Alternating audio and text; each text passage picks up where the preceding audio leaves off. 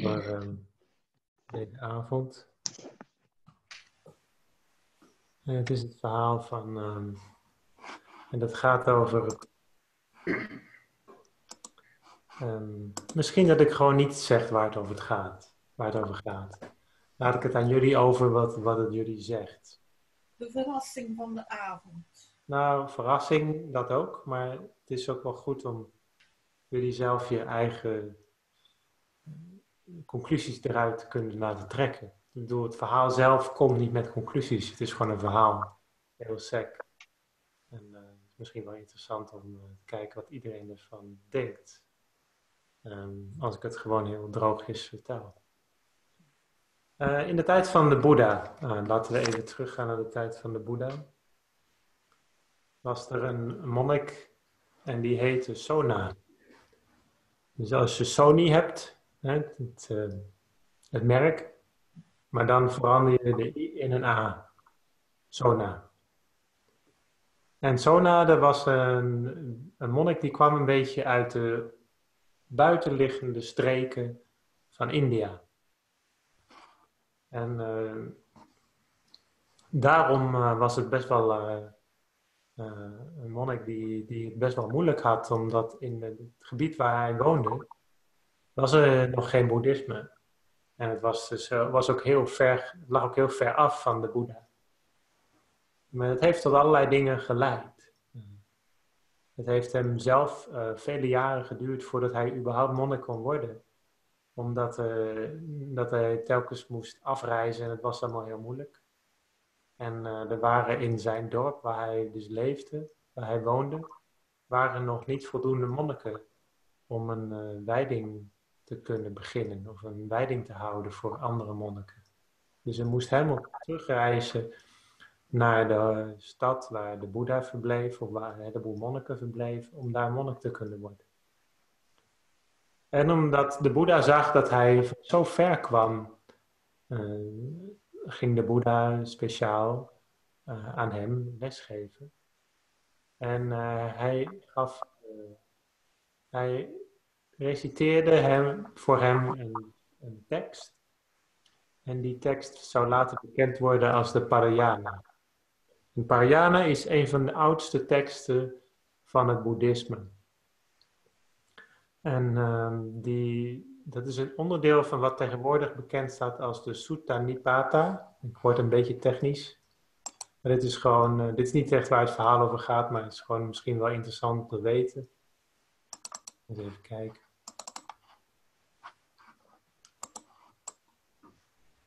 Sutta Nipata. Dat is uh, een van de teksten van de boeddhistische um, Tipitaka, of de boeddhistische geschriften. Tipitaka zijn, is, zou je kunnen vergelijken met, net zoals de Bijbel, een, een kanon is van erkende teksten. In het christendom heb je ook een geheel van erkende teksten in het boeddhisme. En zo heb je dat in elke uh, soort van boeddhisme. Maar dan heb je dus ook nog wel uh, uh, latere teksten die dan erbij komen. in elke traditie is dat zo. En de Sutta Nipata is dus de oudste tekst die door wetenschappers waarschijnlijk, die wordt die beschouwd als de oudste tekst van het boeddhisme binnen de, oude, de teksten die toch al heel oud zijn van het boeddhisme. En dus, dat weten ze omdat al in de boeddhistische teksten wordt vermeld dat die tekst dus wordt gereciteerd. Dus het is niet pas later ontstaan. En uh, nu, om een lang verhaal kort te maken, deze monnik die leerde dus van de Boeddha hoe die, die Sutta Nipata moest uh, reciteren. Dus hij moest onthouden waar het over ging. En die teksten kon hij dan als het ware in zijn hoofd. In die tijd schreef men niet zoveel op in zijn hoofd nam hij dus die hele tekst mee naar zijn provincie. En zo is dus hoe we dat vroeger deed. Dus uh, men schreef niet veel op. En heel veel mensen konden ook niet lezen en schrijven. Maar er was wel uh, schrift, maar werd niet veel gebruikt nog. En men schreef gewoon, men onthield gewoon dingen heel goed. Tegenwoordig is dat vrij uh, onmogelijk. We kunnen vaak, zelfs moeite vaak om meer dan tien nummers te onthouden. en, eh, maar goed, in die tijd uh, kon men heel goed dingen onthouden. En nog steeds hoor, in, in Burma zie je ook nog steeds monniken die dus de volledige Tipitaka of een deel ervan kunnen onthouden. En dat is altijd een heel gebeuren als er iemand dat kan. Dan wordt dat helemaal gevierd en zo. Maar om een lang verhaal kort te maken, om even terug te gaan naar het verhaal. Sona, dat was een beetje de trots. De trots van het plaatselijke dorp. Want uh, in, uh, in het dorp waar hij woonde, dat was dus een beetje ver afgelegen van, van waar de Boeddha woonde in het noorden van India. En uh, waar Sona woonde, daar was dus het boeddhisme nog heel nieuw. En zijn moeder, die was ook al bekend geraakt met het boeddhisme via hem. En hij was zo, zij was zo trots op haar zoon, dat ze regelde, kun jij niet al die dingen die je van de Boeddha hebt geleerd en uit je hoofd hebt geleerd, kun je al die mooie citaten, al die dingen die je hebt geleerd, niet eens daarover gaan vertellen. En dan regel ik een podium voor jou. En zo heeft de moeder uh, geregeld dat hij wat kon vertellen over boeddhisme. En, ook, en heel veel van de teksten van de Pariana gaan over meditatie, over loslaten en over hoe we in het leven staan. Dus het is heel erg filosofisch en ook tegelijkertijd heel meditatief. En uh, nu, uh, dus deze mevrouw die regelde dat, dat dat werd gedaan. En uh, natuurlijk, de zoon die stemde in, Sona, de eerwaarde Sona, of de, de ouderling zo Sona, die ging dus lesgeven. En Sona die was dus, um, die ging dat dus doen. En nu komt een beetje het verhaal. En de moeder die was dus daarna aan het luisteren. Dus op, dus op een dag ging hij dus die les geven, die, die was, wat dus was afgesproken, was dus geregeld. Dat hij aan een heel groot publiek les ging geven, voor de eerste keer waarschijnlijk in die omgeving. En die moeder die was daarna aan het luisteren en die was zo onder indruk van die mooie woorden, van die meditatieve teksten en zo, dat ze vervolgens uh, uh, was ze helemaal, zeg maar, helemaal in opgenomen. En het verhaal gaat dat uh, net op dat moment uh, hoorden dus de inbrekers, de dievengilde, die hoorden dus van die, ook van die toespraak, ook van, ook van die lezing. Die denken natuurlijk niet dat zij nu nou zo'n enorme interesse in het boeddhisme hadden of zo, maar ze dachten, ik grijp mijn kans. Ah, al die mensen die weg zijn en nu hun huis achterlaten. En Toevallig maakten ze ook gebruik van de gelegenheid om het huis van Sona, waar Sona vroeger gewoond had en waar zijn moeder nu woonde, om daar dus uh, de, uh, de, te gaan inbreken. Want ja, die moeder die had het geregeld, die was er zeker niet thuis, die moest er zeker zijn. Dus ze hadden al heleboel met een heleboel mensen klaar. En één iemand die bleef achter bij, die, was dus, die deed net alsof hij naar Sona aan het luisteren was, maar eigenlijk was hij gewoon aan het kijken of die moeder niet toevallig uh, eerder terugging of zo naar huis, zodat uh, hij haar kon stoppen. En al die andere inbrekers, die waren dus berustig bezig om alles in zakken te doen in het huis, om alles mee te nemen. Terwijl de moeder van Sona heel vrolijk, heel gelukkig aan het luisteren was. Maar, er is een maar, er is een maar. In die tijd hadden ze ook een soort van verzekering. Ja, een echte soort van inbraakverzekering. Maar in dit geval was het een. Uh, was in die tijd was het die inbraakverzekering was dat je een bediende achterliet in het huis. Dat was de inbraakverzekering. En die bediende, deze bediende, dat was een, uh, een vrouw die, die, die niet echt durfde uh, veel te doen tegen deze inbrekers. Dus die vluchtte uit het huis. En die zei tegen de moeder van Sona: Oh, u, u, moet nu snel terug, u moet nu snel terug, want ze zijn aan het inbreken. Maar de moeder van Sona die zei: Oh, wat is er dan gebeurd? Zijn de mensen aan het inbreken? Ja, ze zijn in uw huis aan het inbreken. Ze hebben al het, uh, ze hebben al het koper meegenomen. Alles wat van koper was, hebben ze meegenomen. Dat is allemaal heel kostbaar. En toen zei uh, de moeder van Sona: Oh, het is maar koper. En die was zo blij, die was zo fijn, die vond het zo leuk om te luisteren naar haar zoon, dat ze gewoon weer verder ging met luisteren. En toen ging die bediende weer terug. En toen zag de inbrekers, die gingen inmiddels het zilver allemaal meenemen. Oh jee. zilver is nog, nog, nog meer waard. Je kunt tegenwoordig je voorstellen dat je een heleboel servies hebt van zilver, eh, misschien, of iets anders van zilver.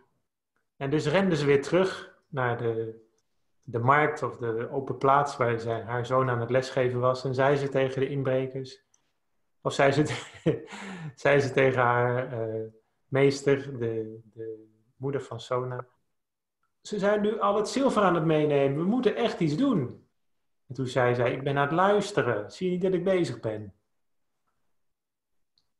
En toen, uh, toen was die bediende helemaal geschrokken daarvan en toen ging ze weer terug. En toen zag ze zelfs dat ze het goud aan het meenemen waren. Er bleef helemaal niets over van het huis. Dus alles hadden ze meegenomen. Als je het in de tegenwoordige tijd uh, zet, dan is het misschien eerst de mobiele telefoons, dan de computers en dan de, uh, hoe noem je dat? Die uh. Of andersom. Volgens mij zit ik niet echt in de goede volgorde, maar goed. En uiteindelijk ging, ging dus al mee de zakken in, de kar in. En ja, die bediener die rende nog een laatste keer naar meester toe. Ze zijn nu echt alles aan het meenemen. Je moet echt snel iets doen. En toen zei, zei, zei de moeder van Sona, die zei, val me niet lastig. Je ziet toch dat ik bezig ben. Dit is veel belangrijker. Dit is de eerste keer dat hier mooi wordt lesgegeven in dit, in dit afgelegen gebied. En ik heb nog nooit zulke mooie woorden gehoord. Misschien dat er ook wel meditatieles werd gegeven. En dat ze allemaal, dat ze allemaal hadden mediteren. Ik ben aan het mediteren. Ik wil niet hier naar, ik wil helemaal niks horen over inbraken. Dat is helemaal niet interessant. Dit is interessant. En uh, vervolgens uh, gaf die bediende het op. Maar tegelijkertijd zat natuurlijk wel die ene dief, de held het erbij. En die dacht de held het, nou, wat raar dat ze nooit teruggaat. En die dief die dacht, die ging toen terug en die, die rende terug naar, eh, naar het huis van de moeder van Sona. Die zei, het interesseert haar helemaal niet of we nu koper meenemen, zilver of goud. Het enige waar zij in geïnteresseerd is, is in meditatie en de woorden van wijsheid van de Boeddha. Er is helemaal niks geïnteresseerd in al deze materiële zaken. Toen hadden de dieven, die kwamen bij elkaar en die zeiden, oh jee, als we zo'n bijzondere vrouw, als we daarvan stelen, dan blijft er vast niks van over. Dan zullen de goden ons vast helemaal straffen. En dat kunnen we nooit overleven.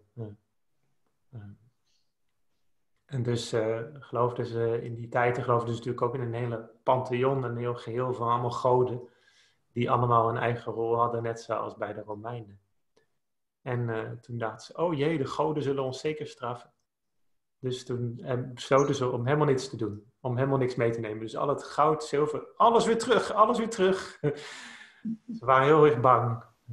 Ze wisten natuurlijk ook niet dat het boeddhisme helemaal niet over goden ging. Ze, ze dachten dat, dat die Sona en die moeder van Sona, die zullen vast wel allemaal goden aanbidden. En die goden die gaan vast ons allemaal straffen nu. Dus dat, uh, dat wisten ze, dat uh, dachten ze. En dus gingen ze vervolgens, gingen ze weer, uh, gingen ze allemaal weer terug en toen ging de moeder van Sona dus weer rustig naar huis. En toen kwamen die dieven en die zeiden tegen haar: Ik wil, alsjeblieft, straf me niet. Ik wil niet dat de goden mij straffen. De dieven waren zo bang en toen zei ze, zei ze van, eh, ik, ik, er is helemaal niks aan de hand. Doe maar rustig, ga je gang, ga maar iets anders doen of zo.